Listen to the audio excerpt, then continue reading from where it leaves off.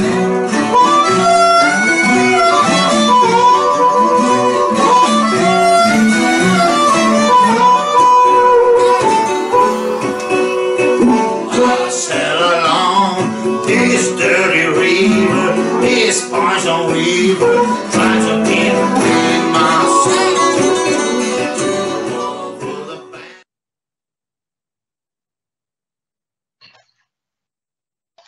ritrovati a Pillole d'Ambiente. L'Associazione Intercomunale Brenta Sicuro e il Forum Regionale Veneto dei Contratti di Fiume vi danno il benvenuto a questa nuova puntata. Pillole d'Ambiente nasce, quasi per scommessa, a maggio 2020. Oggi inaspettatamente una realtà consolidata da oltre 60 trasmissioni, siamo al 62esima. Pillole d'Ambiente, eh, a Pillole d'Ambiente trovano spazio posizioni spesso non univoche, ma improntate al dialogo le puntate che abbiamo trasmesso si sono prestate ad approfondimenti e ad aprire dialoghi anche fra posizioni apparentemente lontane. All'editore di Radio Science, Rosario Moreno, che ci ospita e diffonde su ben 16 emittenti digitali radio e tv ed attraverso mutinas.com, i nostri ringraziamenti. Il gruppo The Fari Places ha musicato appositamente per noi la sigla iniziale e finale di Pillole d'Ambiente, Dirty River ovvero Fiumi Sporchi, un brano che noi apprezziamo molto e che funge da invito stringente ad occuparci sempre di più dei nostri corsi d'acqua, a rispettarli, ad amarli. Ricordiamo che si possono sempre inviare domande scritte rivolte ai nostri ospiti in trasmissione all'indirizzo WhatsApp 347 2305 979. Al termine della diretta, la trasmissione con tutte le puntate sin qui trasmesse si può sempre sui canali YouTube rivedere ed ascoltare. Oggi abbiamo come ospite Vittorio Riondato e il suo Mondo Fantastico. Fantastico, fantasioso, pieno di fantasia. Il mondo di acqua, di fiumi, nelle tradizioni venete, per salvare il mondo dalla sistematica distruzione della bellezza. Eh, ci farà lui capire l'essenza della fantasia che lo caratterizza anche come persona. Avremo poi l'intervento telefonico di Alessandro Tasinato, autore del romanzo Il fiume sono io. E io lascio la parola a Alessandro per la sua presentazione. Prego. Buonasera, buonasera a Marino Zamboni, presidente di Brenta Sicuro, con conduttore di Pillole d'Ambiente, che come aveva premesso Marino è in onda da più di un anno e mezzo Abbiamo fatto 62 puntate con tantissimi ospiti, ospiti che manifestano, testimoniano una grandissima competenza. La competenza è fatta da conoscenza e da esperienza e va anche certificata, insomma. E quindi, insomma, persone che hanno eh, conoscenza, competenza e che hanno anche la passione, ecco, ver, ne, diciamo, indirizzata alla tutela del, dei fiumi del territorio. Voglio ringraziare appunto Marino Zamboni anche per il grandissimo eh, impegno che con la sua organizzazione uh, sta, sta, ogni giorno testimoniando, ecco, eh, andando diciamo, non solo eh, sul, sul, tema principale che è quello della sicurezza idraulica, no? che, che, che, è il tema principale insomma, di Brenta Sicuro, ma anche proprio per la pulizia dei fiumi, per la tutela dei fiumi. Voglio ringraziare anche il nostro il nostro regista, il proprietario di Radio Sayuz Network, eh, Rosario Moreno, e, e, anche questa sera abbiamo un ospite graditissimo che torna con noi, Vittorio Riondato. Vittorio era già stato ospite purtroppo con noi di una sfortunata puntata, ma questa sera compensiamo. Vittorio è, è un artista eh, ci ha accompagnato anche nelle nostre esplorazioni lungo i fiumi con la sua Arca Luna, imbarcazione nel piccolo natante di cui forse magari ci mostrerà ancora qualche, qualche immagine più tardi. E, e, voglio ringraziare naturalmente anche tutti quanti i nostri affezionati ascoltatori, telespettatori che ci seguono da così tanto tempo. Io mi fermo qui, ecco, però vorrei ricordare una cosa, che davvero questa trasmissione qui sta facendo un po' di controcultura. Ecco, abbiamo avuto numerose testimonianze del fatto che davvero stiamo, stiamo, stiamo dando una testimonianza importante de, diciamo, di come si deve affrontare questo tema, cioè quello della, della tutela dei fiumi del territorio, in modo, in modo consapevole, e senza appunto che questi aspetti vengano affrontati, vengono eh, affrontati soltanto da, da Sofocles, anzi da tecnocrati e basta, non tanto da persone che forse hanno una conoscenza limitata di questi aspetti, cioè nella cura, e, nella cura e nella tutela del territorio, ma che lo amministrano in maniera, come dire, pedissequa, ecco. E invece c'è bisogno di avere anche su questi aspetti qui grande anche fantasia, oltre che conoscenza, anche grande fantasia e capacità introspettiva, sì. Ecco, e ricordiamo soltanto due questioni che abbiamo affrontato recentemente, che era quella del deflusso ecologico, che è una questione ancora aperta, con, anzi, che dobbiamo, secondo me, approfondire eh, approfondire e dobbiamo anche riuscire a coinvolgere di più il professor Dalpau su questi aspetti qui, sia sull'aspetto appunto qualitativo e anche sul tema della sicurezza idraulica. E poi naturalmente tutti gli altri anche ospiti che abbiamo avuto e invitiamo tutti quanti ad andarsi a rivedere le nostre puntate sia su Facebook su, su, sia su YouTube. Ma questa sera l'ospite è Vittorio Riondato e quindi lascio a Marino e a Vittorio la parola. Prego. Buonasera a tutti. Che traffico, ragazzi, partendo da Selvazzano. Comunque è una realtà. Allora, eh, Alessandro, l'incontro che abbiamo avuto lì da, nella parrocchia con Don Siro, il parroco di Maerne, formidabile quel prete là. È Gai Kai. e avete parlato qualche tempo fa dei fossi. Anni fa penso che vedo poco comunque, beh questa, guardate, questa è, eh, diciamo, è Spinarello, re dei fossi. È una maschera, è un, diciamo, due pesci, eh, lo specchio. Perciò c'è una corrispondenza, anche eh, un aggancio tra realtà, poi idraulica, diciamo pure, e consapevolezza soprattutto di quello che stiamo facendo. E dopo, mh, più tardi viene anche, sì, tramite ovviamente in maniera, in maniera diciamo, per via internet, no. e lo scrittore, me lo ricordo, aspetta. Tasinato. Tasin, Tasinato Alessandro, sì. E guarda caso ci sono degli agganci, eh, lui mi pare sia di Este, sì. giù di là, sì. Io ho fatto la prima mostra delle maschere, non so, anche terracotte, la terra crea raccolta proprio, tira su dai campi, proprio dove c'erano della creta. E lì ricordo proprio questo este e piano piano, piano ricordo Villa Dose, Villa Dose, il Po, ed è talmente collegato a queste cose. Poi scusate, ho un modo di parlare, ma in qualche maniera se qualcuno vuole intervenire, correggetemi, che sono qua. C'è anche il mondo del ruzzante.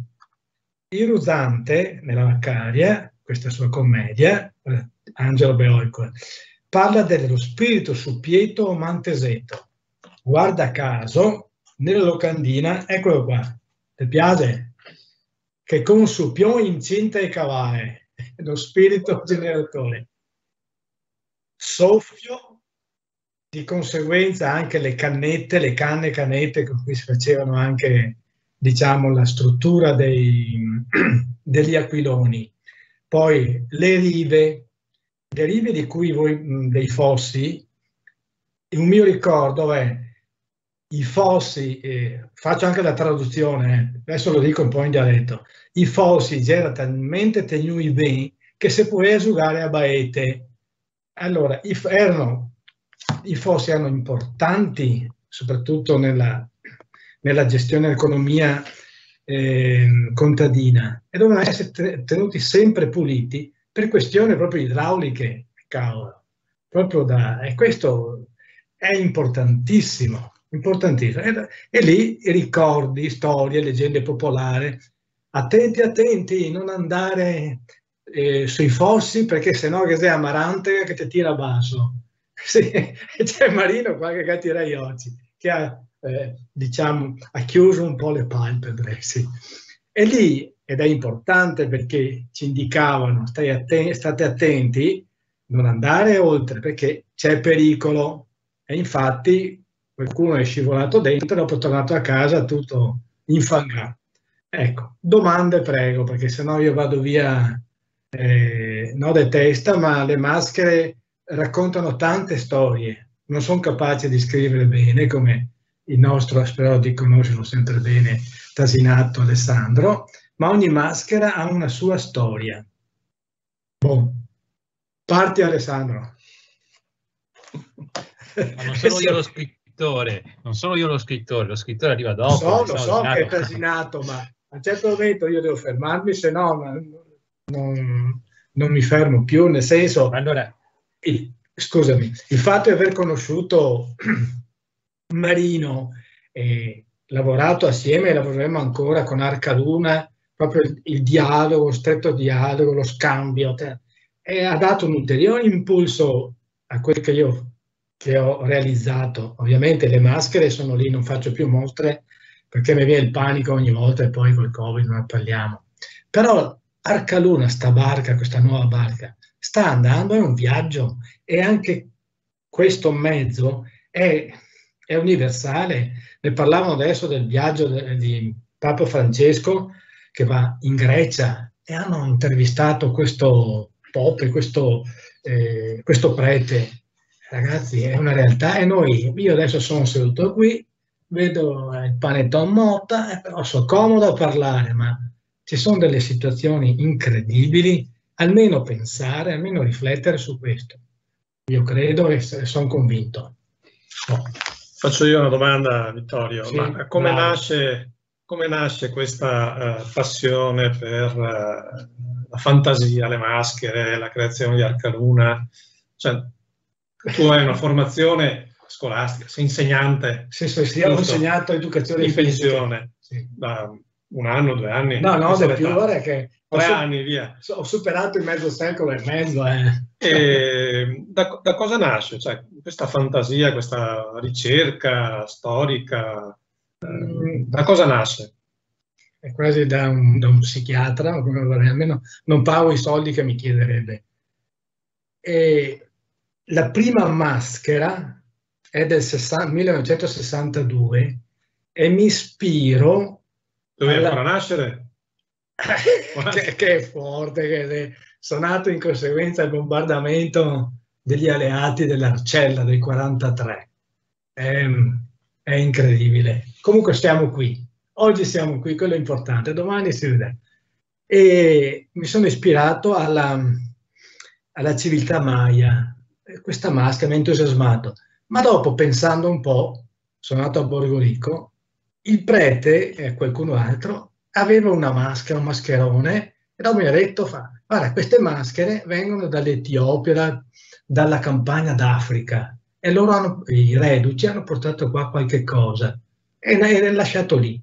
Ma dopo piano piano ho voluto fare, ho frequentato anche il Selvatico, scuola d'arte, che sono diploma maestro d'arte, pensa un po' che roba. ho ripetuto due, tre, due volte almeno le medie, non davo avanti.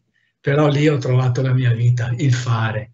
E da lì le maschere, piano piano, eh, e ho trovato un filone, non un filone, ma non si può dire delle cose precise, non c'era ragione, cosa che piace. Allora mi hanno attento al Marante, attento al Massariol oppure al Martoreo. Guarda che, guarda che c'è il vecchio Fredo che te corre drio, oppure le lumassere, dove, queste figure del mito popolare. Ho approfondito Abbiamo parlato anche con Marisa Milani, morta, diciamo pure, che dell'Università di Padova, e mi ha allargato ulteriormente le, le visioni. Poi ho incontrato le, eh, le tradizioni popolari cimbre su in altipiano. E ci sono cose che anche lì mia nonna non ha, non ha, non ha già studiato. Avrà fatto sì, no, se forse dovrebbe essere arrivata alla terza, dopo ha dovuto andare in giro a parare via e ok, ossia doveva lavorare a casa, insomma, ecco. Ma mia nonna non ha mai studiato, eppure ci raccontava delle storie con questi personaggi ed è un personaggio che è, il, è uno spirito folletto eh, che rompe le scatole, fa gli scherzi, che è Puck, sono le notte mezzastate di Shakespeare, ma lo stesso comportamento lo anche il Salvaneo ride, attente tose, non stai andare là che Salvaneo be corre di Rio. Io ma nonna, ma hai studiato Shakespeare? E cosa sei? Uno che sospirava. Comunque, è così. Bah, dopo altre cose, dopo ho continuato, ho ricercato, abbiamo girato un po' la Francia, molto la Francia, la Germania. Ecco una cosa, le maschere, lavorare così mi ha permesso di eh, non abbattere, eh, cavare, cavare via un po' i confini in testa. Perciò eh, quando chiedo una, uno del, dell'est, mamma mia, dell'est, oppure un russo, qualcuno, trovi anche un amico marocchino, cosa sono i gin? Ah, mia mamma mi diceva, corri a letto subito, sono arriva i gin che ti tirano i piedi. Ma anche mia nonna, ti renderò il deo grosso se non te mosse. Ma sono tutte queste cose che non hanno confine, no? Comunque le maschere anche nel teatro greco, trovate lì, abbiamo fatto delle belle rappresentazioni, anche con Andrea Pennacchi, hai sentito? Andrea Pennacchi, che ha indossato, portato le maschere, sì, negli uccelli di Aristofane. E lì si è aperto un ulteriore mondo, perciò voglia di fare, partecipare, eh, comunicare, ascoltare. Quindi diciamo che eh, le tue maschere sono un'interpretazione locale, ma di una, di una cultura mondiale per eh, sì, è mondiale. mondiale. È Quindi mondiale. questo tipo di eh, costruzioni di maschere sono una rappresentazione che eh, si trova nel mondo sostanzialmente. Sì. Questa ovviamente è personalizzata, è di cuoio, credo, sono sì, di cuoio. Sì. Eh, molto belle. Dunque, Guardate cuoio di vacche, morte di vecchiaia. Fate ad alzarlo un po' perché così non si vedono bene. Ecco, così Beh. meglio. Ecco, bellissime, bellissime. Ecco, sono, questo è cuoio di mucche morte di vecchiaia che sono andate in paradiso. Hai capito? I vitellini sono felici, i tori poi non ne parliamo, sono molto eleganti, molto... sì, sì, perché una grande scrittrice mi fa, ma sono di cuoio, sì sì, ho detto, ma guardi, le mucche sono morte di vecchiaia, perché anche col cuoio, eccetera. Allora dobbiamo vedere, ma no, io, mamma mia, anche Marino ha un po' di cuoio, a meno che non sia quello rigenerato. Insomma, l'ecologia sì, ma anche con un certo, con un certo diciamo, giudizio. Eh, Vittorio, una domanda stringente. Eh, qua, cosa ci accomuna? Cioè, eh, noi, io e Alessandro, teniamo molto all'aspetto fiumi, acqua, eh, ambiente, che è anche una tua fortissima componente. Non a caso eh, tu ti sei inventato un brand Arcaluna che l'hai brevettato sostanzialmente sì, perché sì. lo diffondi in più copie, 20, 22 eh, copie in giro per il mondo. Insomma. L'hai portato addirittura dove? sul recentemente, Grappa, sul, sul Monte Grappa. Sul Monte Grappa è, una, è una delle prime sul Passo Fedaia. Caspita. Ma dove viento? Eh, sono un parente del Noè. Ah, mamma mia, come mai? Vieni qua dentro che fa freddo. Quindi cosa hanno in comune l'imbarcazione, queste maschere, con l'acqua? È, il viaggio, un viaggio che io che incontro e va dire uno dai monta su, vieni che possiamo fare un giro. È un incontro, è un viaggio comune. Poi l'acqua, la luna, poi le maree, no? la terra, questi sono personaggi attaccati, molto attaccati alla terra, sono proprio della terra. Ma l'incontro è giusto, vuol dire, eh, fa parte un, della cultura anche attuale, però puoi parlare della fantasia con i bambini e ora trovi dei password, senti che parola vedo, password, facendo il matto, striosso. Infatti faremo un lavoro con nonno Gelo Freddo a Stra. Faremo mh, delle capanne di Natale e il bosco di Natale, ossia con le canete di fiume, tutte queste cose qui insieme, dopo attaccheremo su. Comunque è un viaggio che abbiamo iniziato con Marino io visitavo per conto mio, ma adesso essendo entrato in una struttura di cui faccio parte, mi ha fatto la tessera. Eh. Dopo, è lì. È lì. Se vuoi prendere, falla vedere. Sei tesserato. Dove, dove? Dove? Cos'è questa? Sì. Guarda che roba. Ecco, Vittorio è ufficialmente socio dell'associazione Brenta Sicuro, per cui ci vantiamo di averlo tra i nostri Ciao, si mi ferma i carabinieri. Ah, qua. Eh, fatto, ero sul gruppo sportivo dei carabinieri di Bologna, anche quello. Che, aspetta, dunque, ho incontrato una persona, un generale, diciamo, che è molto interessato in primavera a ehm, realizzare una manifestazione. Sono stati molto interessati e c'è anche, mi pare, un generale in pensione, Antonio Ricciardi, mamma mia memoria comincia a funzionare, che è presidente del Parco del Circeo, Alessandro, e parla proprio di ecologia, di ambiente, un articolo. Te lo mando, faccio le foto e te le mando. E lui, cavolo, sono interessati anche loro, benissimo.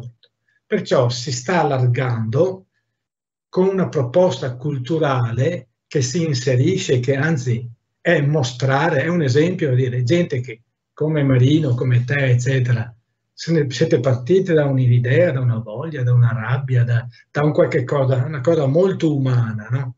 E questo, insomma, non siamo soli, ecco. Dai, fammi un'altra domanda, se no dopo mi intrigo. Alessandro? Eh. Areo qua. Guarda che roba. Allora, gli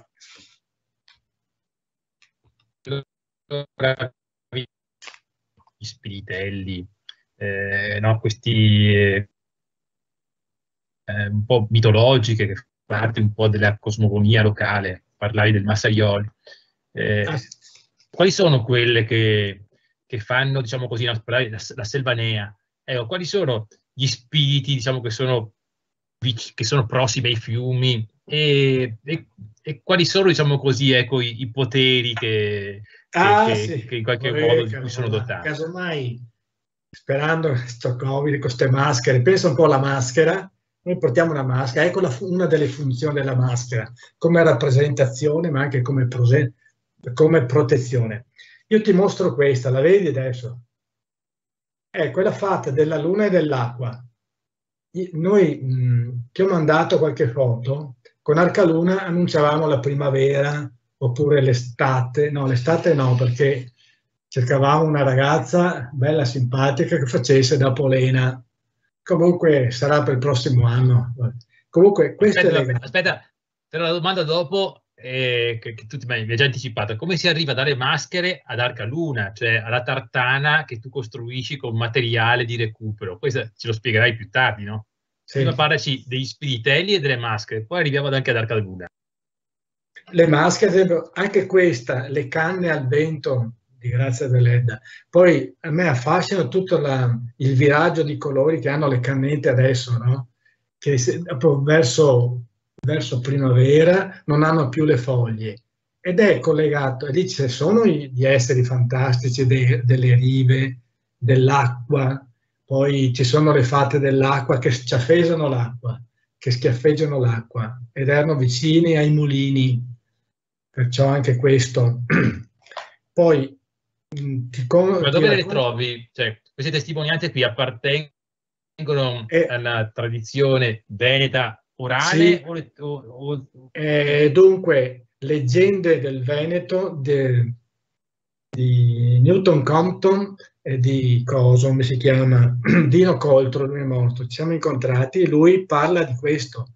Dopo anche altre, fai una ricerca mi hanno dato le fotocopie di un, di un giornale del 1870 che parla del Massarol.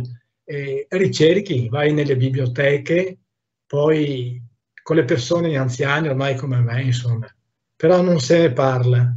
Ma quando un nonno parla a un bambino e racconta queste storie, il bambino smette e apre la bocca e e lui non proprio la cultura, il continuo, no? E questo ti dà una dimensione interessante. Però abbiamo una, c'è una forza, molto, una forza fortissima che sono gli strumenti che stiamo usando. Anche qui, questi flash subliminali, no? vengono attratti i bambini. Pensa un po', parlavano di, di, non di tossicodipendenza, di computer dipendenza, sono di, un casino, di, un caos, un po' psicologi, poi c'è parlato di Kiskei, eh, medicina, eccetera. Perciò se si può, ormai va avanti questa tecnologia che è impossibile, ma ogni tanto riflet- fermarsi, riflettere e raccontare, ascoltare, è una cosa piacevole, mezza medicina in meno, no? Dimmi quello che vuoi dirmi, dai. Aspetta, ti dico un'altra così intanto pensi. Senti questo. Questo lo vedi? Questo è Arlecchino dei Peocci o i mitili, era ma. E Arlecchino, pensa un po' anche, anche Arlecchino, Dimonio, Dante, e, è antico questo personaggio che nasce dalla foresta oscura. Poi adesso si è evoluto, ecco Arlecchino, Venezia, tutte queste Arlecchine della comunità dell'arte. Ma Arlecchino, se parli di Arlecchino con i bambini, ah, è quello che è col costume fatto con tutte le pezze. Certo, è un gran riciclatore Arlecchino, non butta via niente, no. E lui ciuccia. Eh, quando i padroni buttavano via, dopo aver mangiato e butta via ossi, beh, e lui li ciucciava talmente che erano talmente lucidi che poteva specchiarsi. Pensa un po', guarda. E adesso questo, ma anche Pinocchio e Geppetto sono economia circolare, non butta via niente, no? Ecco, fermami un poco, ti prego. allora, Vittorio, tu hai costruito una cosmogonia, diciamo, con diversi riferimenti, no? hai fatto queste maschere facendo riferimento a questi spiritelli che popolavano i racconti della tradizione orale veneta, ma vedo anche che c'è eh, le maschere, la maschera tipica veneziana dell'arlecchino, però ci sono, insomma, come dire, hai fatto un sincretismo, no? Qui hai detto, di tutte quante queste fonti, anche, anche letterarie, mi sembra di capire, sì. tu hai costruito delle maschere che rappresentano questi, questi spiritelli, comunque, queste, che sono legati comunque al territorio, alla terra, ai fiumi, la Selvanea, prima mostravi nonno gelo. Sono, prese- sono... presenze, sono presenze, sensazioni. Eh, dopo continuo, scusa, ti dico perché mi hai dato un, un input interessante. No, no, continua, continua, perché dopo parliamo di questo e dopo arriviamo poi più tardi ad Arcaluna. Pre- allora, eh, queste presenze, ad esempio, c'è di... A volte il Salvaneot viene, no, arriva di notte, questi sono racconti, che sale sullo stomaco e ti toglie il fiato. Ed ecco l'incubo, ed è ben espresso da un Fusli, questo mi pare sia un pittore pittore svizzero, questa bella ragazza un po' paidotta, distesa, e, e di lato c'è questo cavallo con le orbite fuori da testa, ed è l'incubo. E dopo c'è anche la gatta, la gatta Maura, mai sentito parlare della gatta Maura? C'è, eh, come si chiama la donna gatto in inglese? Catwoman. Catwoman. Bellissima quella. E anche la gatta di notte, quando è arrabbiata, sale sopra l'uomo, tanto che tira i, che tira i pei qua del stomaco, e, e, gli, e gli respira il respiro. Sono queste cose. E questo fa parte anche di certe sensazioni che noi abbiamo quando anche stiamo male.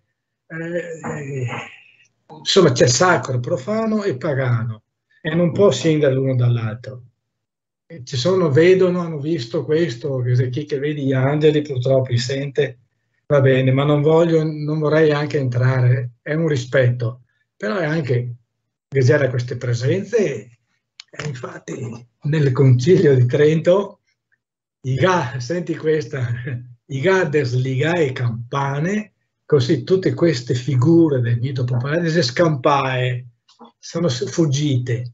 Un sanguanei i segari fu dentro gli ossi del Perseo. Questa è la storia che me l'ha raccontata su in Valsugana. Questo mi, mi, mi piace un casino, troppo bello. Però intanto si parla, leggi, le biblioteche per me i libri sono importantissimi leggere. E dopo incontri gente e domandi. Ecco, pronti, Arcaluna. Arcaluna. E come eh. si arriva appunto dalle maschere che sono dedicate a questo punto, a, hanno riferimenti diversi in cui tu fai appunto questo sincretismo no? di sacro, profano, eh, presenze no, diciamo così, eh, mitologiche o presente anche demoniache, potremmo dire locali. Sì, no? eh, certo, cioè, certo, demoniache. Come si arriva adesso certo. dalle maschere alla, alla, tartana realizzata con materiale ecologico o, o di recupero? Com'è questo, cosa fai questo salto? Eh, non c'è, non è un netto, è da sempre che recuperavo, eccetera. Un giorno, ehm, sai cosa? Piano piano, vedi, bisogna che ti pago il caffè perché te sei migliore del coso, di un psichiatra. Gli argonauti alla ricerca del vello d'oro.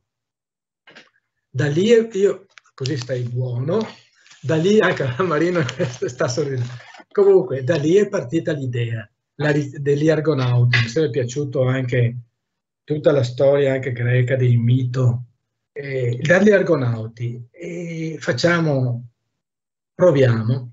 È una delle primissime bar- idee di barche che abbiamo realizzata a Saccolongo con le scuole elementari. Anche lì abbiamo costruito insieme quei stroppe e quei giunchi gialli che sono molto belli.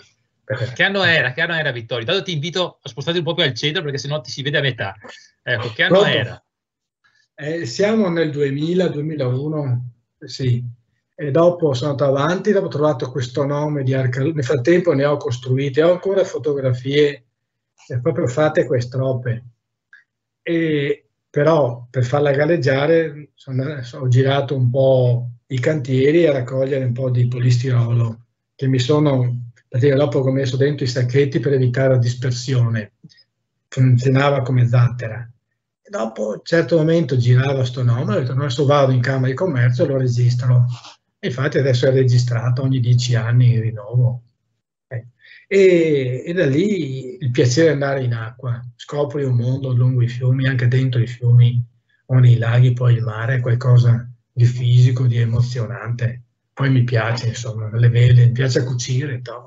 Ecco, adesso sto costruendo un'altra piccola barchetta, te l'ho già detto, piccola, adatta, la divido in due come due scatole, che posso una ho già calcolato, la metto dentro in auto e l'altra in portapacchi. Sto già pensando, intanto il tempo lo si impiega. Ecco, qui è nata. Dopo l'hai vista lì Arcaluna sul Marzenego, dietro la canonica, e lì per me è stato importante con queste. Dopo, questo, dopo è diventato anche un laboratorio che proponevo in giro, che ho proposto anche a Venezia, nelle varie scuole abbiamo creato piccole imbarcazioni che galleggiavano con bottiglie, poi siamo diventati mondiali perché a Venezia anche una cacca de can avviene fotografano.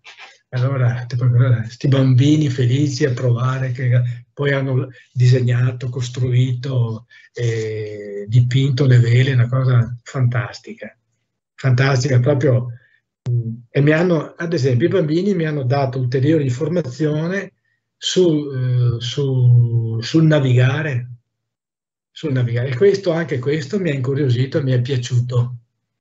Ecco. Altre domande?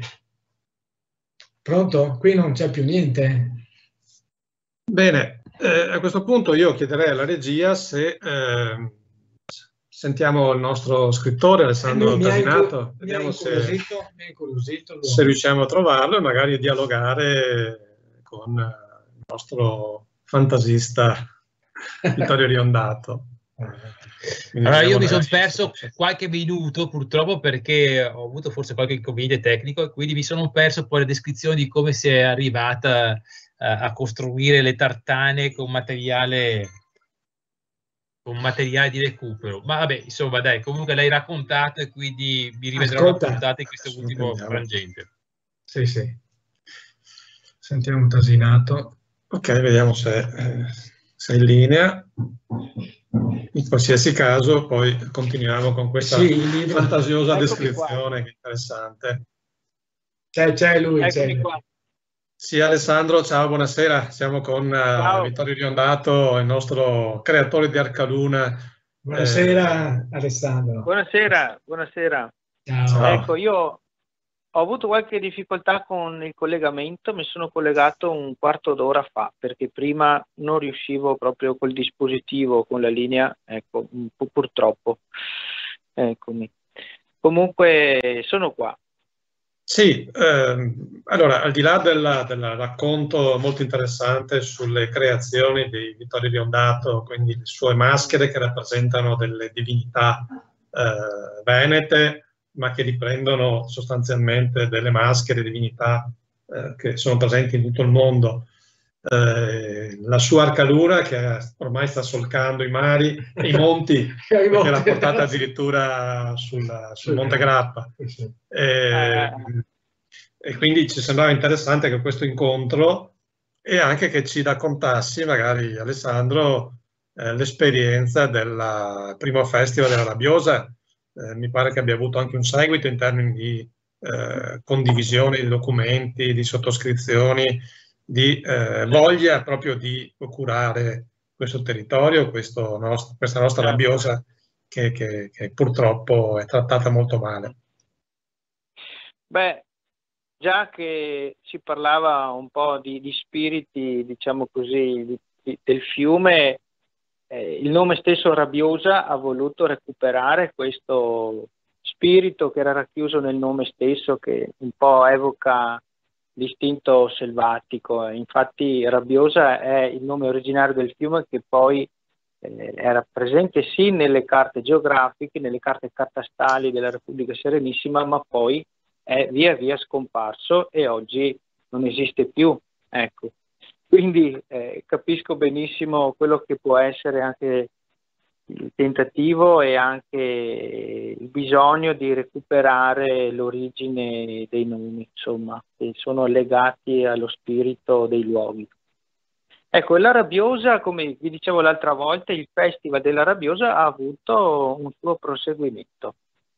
E da una parte quindi stiamo continuando a allargare la rete delle associazioni o delle varie realtà territoriali lungo il fiume Fratta Gordone, perché la Rabbiosa è il fiume Fratta Gordone che scende dalla provincia di Vicenza, attraversa il Basso Veronese e la Basta Padovana, fino ad arrivare poi a Chioggia, e con questo progetto culturale di tipo itinerante che vuole legare appunto quello che può essere un momento di tipo conviviale e di anche piacevolezza dello stare assieme nel territorio, in luoghi che nascono lungo il fiume, ma anche un momento che sia di approfondimento di quelle che sono le vere eh, problematiche del fiume, che nel caso del Fratta Gorzone sono molto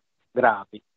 E, parallelamente a questo, quindi, che è un aspetto un po' più, eh, diciamo, di carattere eh, divulgativo, Abbiamo però mantenuto aperto un canale di approfondimento tecnico-normativo e questo lo si è potuto fare attraverso una esperienza, non posso dire nuova perché era già stata tentata ormai vent'anni fa, ma che poi era stata un po' abbandonata nel corso del tempo e abbiamo tentato appunto di farla rivivere ed è un coordinamento delle associazioni e dei vari cittadini che si sentono o vogliono essere attivi sul territorio eh, che, si, che, sono aggregati appunto lungo l'intera asta del fiume, vale a dire da Arzignano, per intenderci, attraversando la zona di Colonia Veneta, che è quella più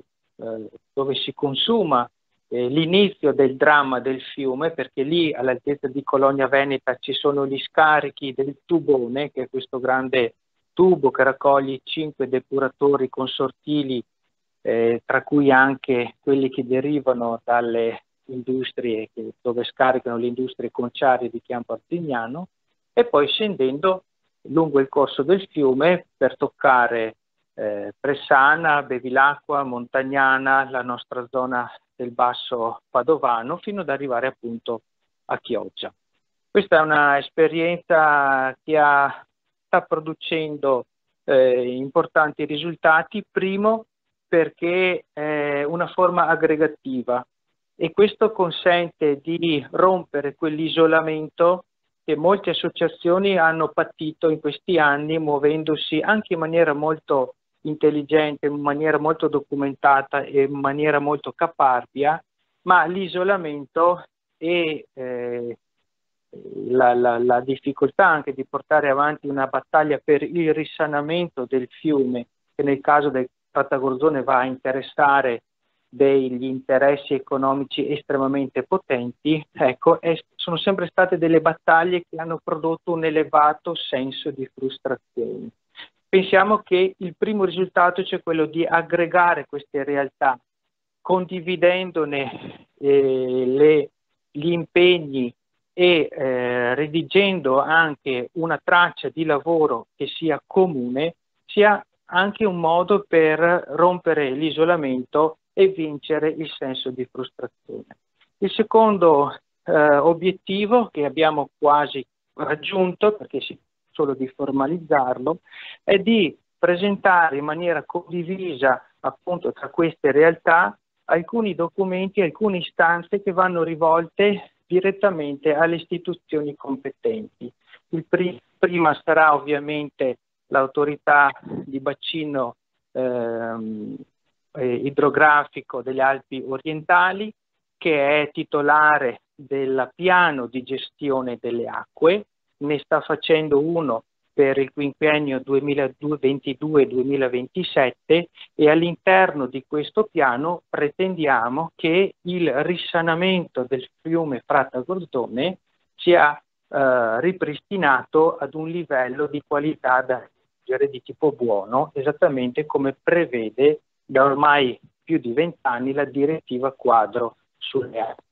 La seconda istanza sarà quella rivolta alle, alla Regione Veneto, innanzitutto perché è titolare del rilascio dell'autorizzazione allo scarico del tubone di cui vi parlavo prima e lì ovviamente eh, documenteremo sotto il profilo tecnico e amministrativo come vi sia la necessità di rivedere il di questa autorizzazione, ridefinendo appunto i parametri e i limiti di modo tale che questi abbiano un contenuto di sostanze che sia compatibile con la capacità autodepurativa del fiume. Ecco, tutte queste esperienze che noi abbiamo un po' messo in calendario hanno avuto un primo uh, risultato proprio in questi giorni perché stiamo eh, chiudendo appunto queste eh, formalizzazioni di documenti, ma hanno avuto anche un'accelerazione importante. Perché? Perché eh, durante questa settimana e un appuntamento specifico ci sarà eh, proprio questo sabato 4 dicembre, c'è eh, la delegazione dell'Alto Commissariato delle Nazioni Unite che viene a visitarci è una delegazione che si occupa proprio di diritti umani. Il tema quindi è estremamente importante. Per chi non conosce questa realtà viene spontaneo chiedersi come mai, cosa c'entra l'ONU, cosa c'entra la delegazione eh, dell'Alto Commissariato per i diritti umani dell'ONU che viene nel Veneto a visitarci e soprattutto viene a, uh, visitare le terre colpite dai PFAS, delle sostanze perfluorochimiche che hanno intaccato la falda sotterranea delle nostre zone, ma che sono anche all'interno di questo scarico che continua ad essere, eh, diciamo, scaricato insieme Prata. Sono, eh, è una vicenda purtroppo molto triste, che eh, vede anche in corso di eh, un, un, processo del carattere epocale per quanto riguarda la storia non solo italiana ma anche dell'Europa che si sta celebrando a Vicenza contro i dirigenti della eh, responsabili l'inquinamento della falda che l'azienda Miteni di Trissino, ma si tratta anche di un tema che riguarda l'informazione alla popolazione. Qualche mese fa alcuni stati hanno fatto richiesta ehm, all'ONU di effettuare proprio una visita per verificare, assieme anche alle istituzioni governative e anche a quelle eh, regionali e anche eh, ascoltando i comitati stessi, per verificare qual è eh, il livello di informazione che le popolazioni hanno anche per tutelarsi rispetto a questo tipo di inquinamento in atto. Sappiamo, ma lo dico, si tratta di un inquinamento dovuto a sostanze che per la loro tenacia si, legano, eh, si sono legate al sangue delle persone che hanno bevuto purtroppo acqua che era contaminata e sono sostanze persistenti eh, interferenti endocrini, cancerogeni e si bioaccumulano eh, nel nostro organismo. E una cosa particolare è anche una novità che riguarda poi il fiume Fratta Gorzone e che è estremamente legata al tema dei PFAS, come poi anche l'informazione su questo tipo di inquinamento è stata gestita. Eh, vi faccio solo presente che quattro anni fa l'associazione delle mamme no pass assieme a Greenpeace ha richiesto alla Regione Veneto l'accesso a dei dati di monitoraggio che la Regione Veneto nel 2017 aveva svolto su alcuni campioni di eh, prodotti alimentari, cioè soprattutto verdure, carne e uova, campionati in vari punti di questo territorio eh, contaminato, ognuno dei quali georeferenziato georeferenziato. A questa richiesta di dati, di accesso ai dati, a queste informazioni ambientali, la Regione Veneto al tempo rispose con un diniego, al che Mamenoc FAS e Greenpeace dovettero fare richiesta, eh, ulteriore richiesta, ma soprattutto dovettero eh, rivolgersi al ricorso al TAR. Ebbene, dopo quattro anni di ricorso di, tipo, eh, di, di, di contenzioso, chiamiamolo così, giudiziario, le eh, associazioni sono state finalmente rese, eh, alle associazioni è stato finalmente reso accessibile eh, questo tipo di informazione. Ecco allora che a partire da questa estate le Mamme Pasta hanno scaricato eh, documento su documento migliaia e migliaia di dati di tipo analitico, li hanno ordinati sotto forma di un file enorme Excel e l'hanno consegnato ad un gruppo di ricercatori di cui fa parte anche l'Università di Firenze, producendo un primo documento che ha valutato la, ehm, la, l'analisi statistica eh, su questi dati da un punto di vista diciamo, epidemiologico. Primo, da, questa prima ricerca è stata presentata proprio questa settimana, è apparsa sulla rivista Epidemiologia e Prevenzione con un articolo scientifico che dà alcuni risultati importanti, e cioè eh, questi risultati riguardano che è eh, diciamo, accertata la contaminazione dei cibi, soprattutto di quelli eh, di impronta animale, diciamo, rispetto alle verdure, eh, nella zona cosiddetta rossa, cioè quella intaccata dall'inquinamento vero e proprio della falda sotterranea, ma c'è anche un altro dato interessante e che mette in luce questo eh, studio eh, scientifico, e cioè che un'altra area di attenzione per quanto riguarda la contaminazione di questi alimenti è proprio quella che riguarda eh, l'asta del fiume Fatta Gorzone, perlomeno diciamo la zona rispetto all'area presa in esame, che è una zona diciamo della cosiddetta zona rossa, eh, così come classificata dalla, dalla Regione Veneto, ecco, c'è una zona in cui c'è un addensamento di probabilità di individuare dei campioni contaminati anche nella zona eh, in prossimità di Bivilacqua di Montagnana e di Terrazzo, che è proprio il punto di questa zona in cui vi è l'attraversamento del fiume Fratta Gorzoni. Quindi eh, diciamo una delle conclusioni a cui arriva questo studio, che sicuramente meriterà di essere approfondito, eh, tant'è che poi anche la Regione Veneto sappiamo che ha messo in campo degli altri monitoraggi, è proprio quello che lancia diciamo, questo tipo di focus su quello che può essere anche l'inquinamento di queste sostanze in prossimità eh, I motivi ovviamente vanno approfonditi, ma sicuramente è anche questo un tema che si collega al nostro lavoro, perché una delle cose per cui oggi noi a distanza di vent'anni rivendichiamo l'importanza di risanare, risanare completamente il fiume Fatta Gordone è anche proprio questa, e cioè le condizioni al contorno purtroppo si sono enormemente aggravate, abbiamo a che fare con una falda sotterranea contaminata che sta scendendo da Trissino con una velocità di 1-1,5 km all'anno, così appunto ci viene descritto dal CNR che ha condotto le ricerche sulla falda, abbiamo di fronte uno scenario in cui la utilizzo, l'utilizzo dell'acqua dai pozzi è fortemente, probabilmente sarà fortemente pregiudicato,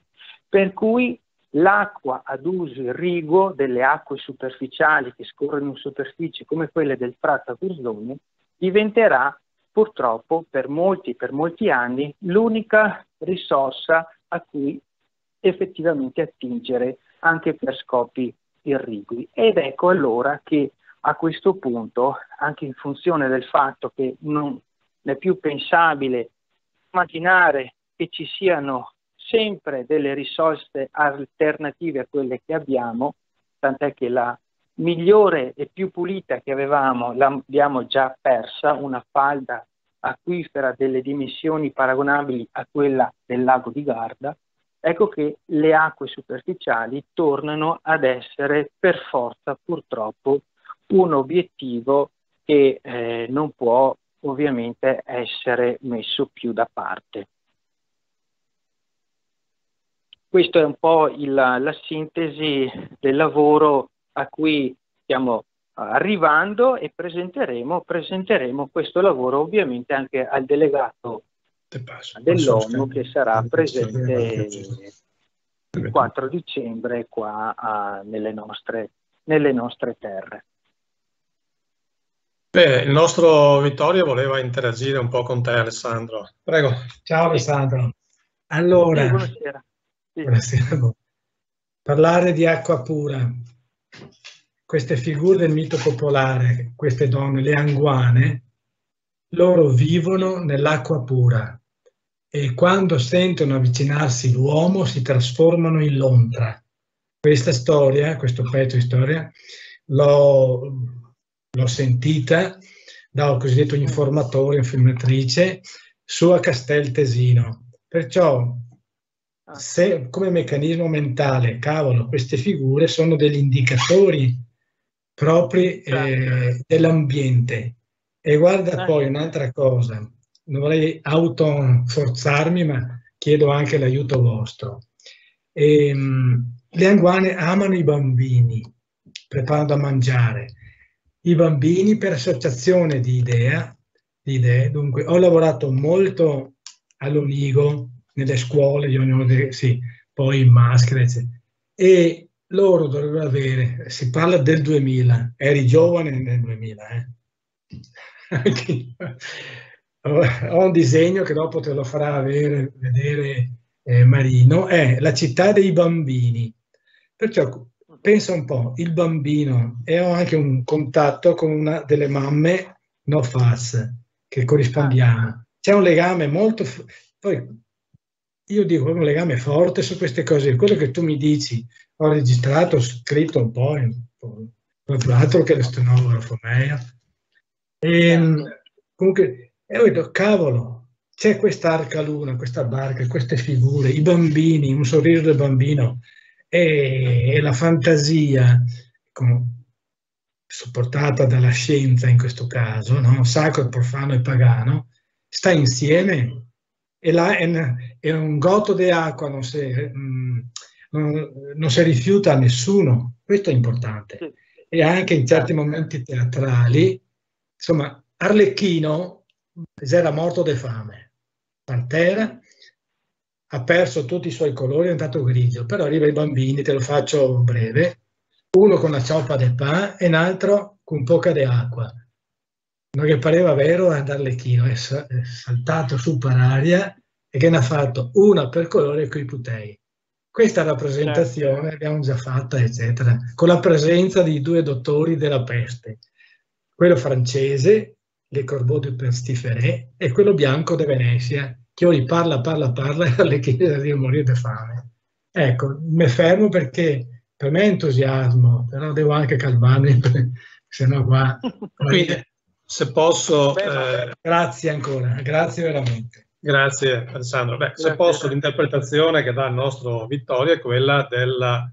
Eh, c'è la parte scientifica che tu hai espresso benissimo, eh, Alessandro, e c'è la parte, tra virgolette, ludica, informativa, di tradizione, che può dare un aiuto, un supporto per quella che è il rispetto del nostro territorio. La leggenda stessa. No? E da questo ah. punto di vista, eh, all'Onigo ci torneremo a fine gennaio proprio con Vittorio eh, per eh, pulire le arginature proprio del frattagortone del nostro labioso. E quindi diamo il piccolo supporto eh, a, a, quella che è la parte scientifica che tu veramente hai rappresentato molto bene, insomma, poco fa. Dimmi, eh, dovevo dire qualcosa. Dimmi. dimmi Alessandro. No, una cosa sì, la perdita delle anguane, che sembra soltanto una, una favola, in realtà è una fiaba, no? Mm, sì. può avere un significato mm, che proprio è testimone di un cambiamento.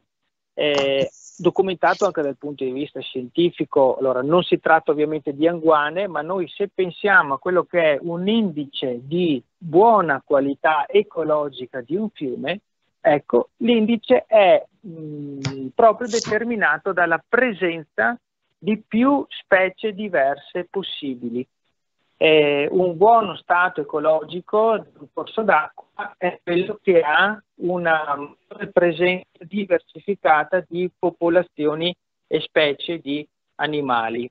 Quando interviene eh, un inquinamento, un fattore di disturbo, quelle che se ne vanno, che scompaiono come le anguane, sono quelle ovviamente eh, più sensibili e la loro scomparsa è proprio eh, il termometro di un inquinamento in corso.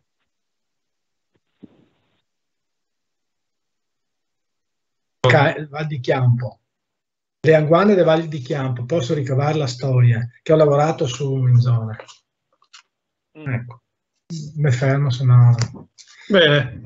Guarda, ecco. eh, grazie molte Alessandro della, della, tua presenza, del tuo intervento. Eh, ti ringraziamo, ripeto, molto e certamente la tua azione insomma, ci, ci interessa molto e quindi avremo... Beh, ci, siamo, siamo coinvolti, andiamo via a braccetto su questa cosa. Esatto, quindi anche la nostra associazione partecipa a questa, certo. questa tua forte azione, certo. di complimenti. E niente, ci, ci risentiamo a breve per eh, delle altre presenze, certamente per allora. noi sono molto interessanti ho prenotato il tuo libro alla Gregoriana, sono curioso. Eh, ma allora ci dobbiamo scambiare i numeri di telefono, dai. certo, certo. Okay. ok, volentieri. Grazie, buona Ciao, serata. Un grande abbraccio. Grazie a tutti. Ciao. Bene, Alessandro vuoi aggiungere qualcosa? Perché siamo proprio agli scoccioli della trasmissione. Sì, no, saluto, sapete che continuiamo le nostre puntate questa sera eh, più che una puntata letteraria, era una puntata in cui appunto coinvolgendo eh, Vittorio e Alessandro Tasinato, quindi Vittorio Iondato e Alessandro Tasinato, volevamo in qualche modo evocare tutte quelle divinità, gli spiritelli eh, che scorrono, eh, che, che, che, popolano eh, i nostri fiumi, il nostro territorio, e, e, attraverso questi raccontare anche appunto le battaglie che ancora sono necessarie che dobbiamo condurre per la tutela di questi luoghi. Questa sera Alessandro Tasinato ci ha, ci ha dato una testimonianza del, delle battaglie che sono necessarie, che, che, che non, non, si esauriscono chiaramente nel, nel, nel breve termine perché c'è un importante fenomeno di inquinamento cui sono esposte 300.000 persone eh, nel, nel, territorio appunto del Vicentino, ma ci sono tante altre questioni eh, che riguardano i nostri fiumi e che sono legati a, agli stessi, eh, come dire, agli stessi eh, piani, programmi che prima abbiamo evocato che prima abbiamo evocato, e cioè il piano di gestione delle acque, il piano di gestione del rischio alluvioni, temi, diciamo così, che noi affrontiamo sia in termini letterari, ecco, artistici, grazie a testimonianze come quelle di Vittorio Riondato, e la prossima settimana avremo anche, spero, ecco, magari altri due eh, importanti scrittori con noi in trasmissione, proprio per parlare sempre anche di come in realtà questo territorio che è sempre più logorato, che è sempre più abusato, eh, dimostri anche che abbiamo un vuoto di potere, abbiamo una classe dirigente che non è in grado di gestire questo enorme patrimonio, importantissimo patrimonio naturalistico eh, che è sempre più insidiato. Bene. Eh, Vittorio, vuoi aggiungere qualcosa? Proprio un'ultima considerazione che siamo in chiusura questo incontro, questa serata mi ha dato un'ulteriore scossa. Rispetto, non siamo soli, è il fatto della solitudine, eccetera. Comunque, abbiamo da fare qualcosa, piede per terra, fermo qualcosa. È già l'incontro, il poter lavorare insieme, poi eh, avendo conosciuto Alessandro Tasinato così in maniera virtuale, ma ci, terrei, ci teniamo di incontrarlo direttamente, proprio fisicamente, e coordinare dopo. E i bambini soprattutto, mamma mia, vedo con mio nipote, ragazzi, è da sempre comunque. Un bambino, una famiglia, e quando si va da, da un coso, come si chiama, da un assessore, e cosa ha avuto? Sempre robe così, artisti, sì assessore, guarda, un bambino, una famiglia, un voto, cosa dire? E allora tirare dice, avete malacca il paese. Ciao, un abbraccione. Bene, a questo punto eh, vi ringraziamo della, della presenza. Grazie, eh, grazie, È stata una bella puntata, ricca di, di spunti anche. E vi diamo appuntamento a giovedì prossimo, sempre 18.15, sempre con Pillole d'Ambiente. Grazie, Grazie. buona serata. Ciao. Serata, ciao. this dirty river,